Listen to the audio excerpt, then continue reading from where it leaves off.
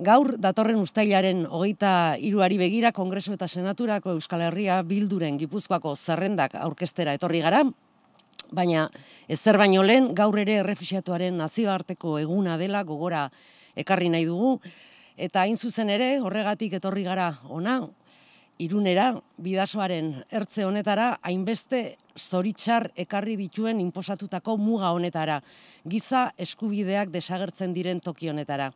Izan ere ez dira gutxi urtero muga hau gurutzatzeko haien bizitza arriskuan jartzen duten personak eta larriagoa dena ez dira gutxi ere alegin horretan bizia galdu dutenak. Migratzea ez litzateke arrisku bat izan behar. Euskal Herria zaintzen duen muga, zatitzen duen Euskal Herria zatitzen duen muga honen amaiera eskatzen dugu, baina baita igarobide seguruak ezartzearen beharra aldarrikatzen dugu. Eta hain zuzen ere, hori izan da legegintzaldi honetan landu dugun aldarrikapenetako bat. Eta esan beharrik ez dago, legegintzaldi hau frenetikoa izan da, baina ezinbestekoa izaten jarraitzen du bai kongresuan eta baita ere senatuan Euskal Herria bilduren ordezkariok egin dugun lanari jarraipena ematea. Uztailaren hogeita iruko zita honetara etxeko lanak eginda heldu gara, etxeko lanak eginda gatoz, aski erakutsi dugu Euskal Herritarren interesak edozein hauzi alderdiko iren gainetik kokatzen ditugula, ezberdinen negoziatzeko, ezberdinekin negoziatzeko eta akordioak erdiesteko dugun gaitasuna erakutsi dugu, eta baita emandako hitza betetzeko dugun konpromiso irmoa. Euskal Herria bilduk beste behin ere erakutsi du esaten duena egiten duela eta egiten dudena esaten duela.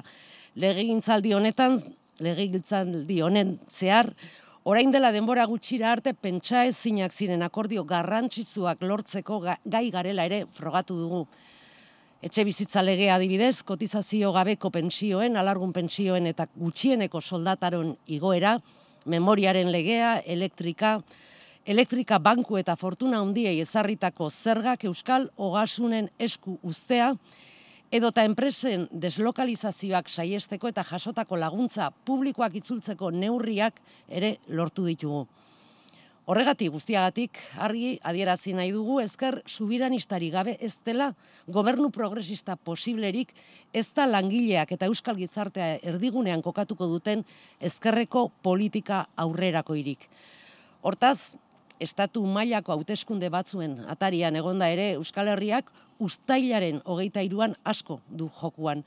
Herritarren bizi baldintzak hobetzeko neurri hoiek guztiak ez lirateke posible izango ezker subiranistaren indar eta bultzadari gabe.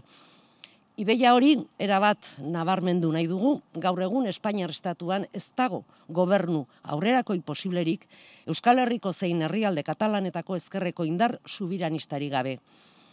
Gu eskara, estatu mailan ezkerreko politika gauzatzeko gu gara, gu gara, estatu mailan, eh, gu gara, estatu mailan ezkerreko politikak gauzatzeko berme bakarra, baina ez hori bakarrik. Hauteskunde hauetan ere, inoiz baino irekiago dago eskuinaren boterea heltzeko aukera. Eta horren aurrean ere, ozen diogu Euskal Herria bildu dela, antifasismoaren Euskal berme bakarra. Beste batzuk, zalantza egin eta feijoren pepearekin negoziaketetan dabiltzan bitartean, udalen osaketan edo edo eta digipuzkoako diputazioan bertan ikusi dugun bezala. Ez dezagun aztu gainera, boxekin eta ultraeskuinarekin elkarnea lanean dabilen pepeari buruz ari garela. Horren aurrean gukarri diogu ez diegula inondik inora ere tarterik txikiena utziko. Eta azkenik, hauteskunde hauek ireki berri den ziklo politikoaren bigarren itzuli bat bezala ere ulertzen ditugu hauteskunde hauek. Euskal Herria bilduk lehen indar municipalista gisa duen posizioa indartu du, ego Euskal Herriko lehen indar politikoa bihurtuta irureunda irurogeita bos mila herritarren botoari ezker. Uztailaren hogeita iruan, partida honen bigarren zatia jokatuko dugu horregatik da hain garrantzitsua oraingoan ere Euskal Herritarren babesa jasotzea. Irabazi ditzakegula, hauteskunde hauek irabazi ditzazkegula sinetsita gaude, horregatik esker independentistaren botorik ezin da etxean geratu.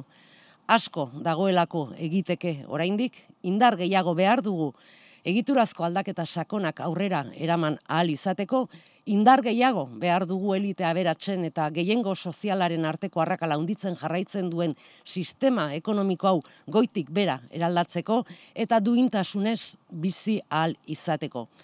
Uztailaren hogeita iruan berriro egingo dugu.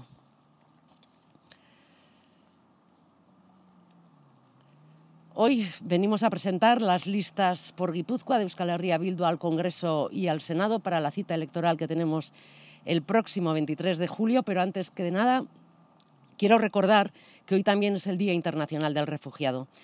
Y precisamente por esto hemos venido aquí, a Irún, a las orillas del río Vidasoa, a esta frontera impuesta que tanta desgracia ha traído y donde los derechos humanos brillan por su ausencia.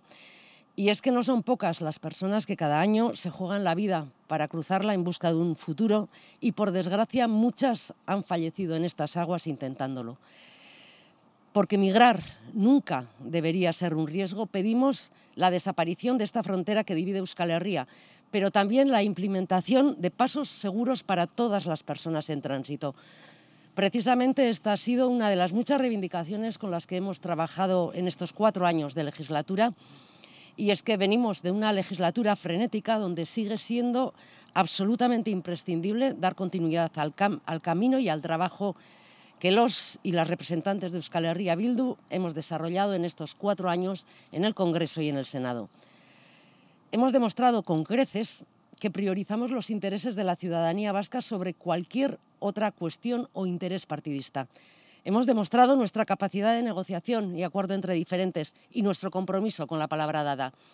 Euskal Herria Bildu ha vuelto a demostrar que hace lo que dice y hace, hace lo que dice y dice lo que hace. Y durante esta legislatura hemos alcanzado acuerdos significativos que hasta, hasta hace bien poco parecían impensables o imposibles. Una ley de vivienda, el incremento de las pensiones no contributivas, el, aumento de las pensiones mínimas de viudedad y la subida del salario mínimo. Hemos logrado también una ley de memoria democrática y la gestión para las haciendas vascas de los impuestos a la banca, eléctricas y grandes fortunas, así como medidas para evitar la deslocalización de empresas y garantizar la devolución de las ayudas públicas obtenidas. Pero es que además todo esto nos deja ante una clara evidencia. Sin las izquierdas soberanistas no son posibles gobiernos de progreso ni políticas públicas avanzadas que pongan en el centro a la clase trabajadora y a la ciudadanía vasca. Y precisamente por eso queremos reivindicar que a pesar de estar ante unas elecciones estatales, Euskal Herria tiene mucho en juego el próximo 23 de julio.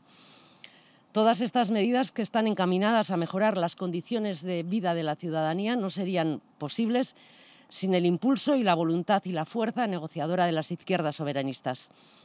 Por eso hoy volvemos a insistir en esa paradoja que atraviesa en este momento histórico la política en el Estado español. Sin el concurso de las izquierdas independentistas vasca o catalana, no hay gobierno de progreso posible en el Estado español. Sin las izquierdas, soberanistas no hay políticas públicas de izquierda en el Estado español. Pero es que además el riesgo de que la derecha gobierne es mayor que nunca y ante eso queremos decir alto y claro que Euskal Herria Bildu es la única garantía antifascista. Porque lo decimos sin complejos y porque somos gente de palabra, mientras otros titubean y coquetean con el PP de Feijó, como hemos visto en la composición de los ayuntamientos o en la misma Diputación de Guipúzcoa. Ese PP, no lo olvidemos, que va de la mano de Vox y la ultraderecha más reaccionaria. Nosotros, nosotras, somos la garantía para no cederles ni el más mínimo espacio. Y por último, me gustaría enfocar estas elecciones como una segunda vuelta del nuevo ciclo político que acaba de abrirse. Euskal Herria Bildu ha reforzado su posición como primera fuerza municipalista de Ego Euskal Herria gracias al apoyo de más de 364.000 personas y el 23 de junio tenemos el deber de materializar este cambio. Las próximas semanas nos jugamos mucho. Están en juego nuestros derechos nacionales y los derechos de la clase trabajadora nosotros y nosotras nunca fallamos. El 23 de julio lo volveremos a hacer entre todos y todas, ustailaren hogeita iruan berriro egingo dugu. El 23 de julio construiremos sonrisas y volveremos a vivir una noche mágica. Chalo.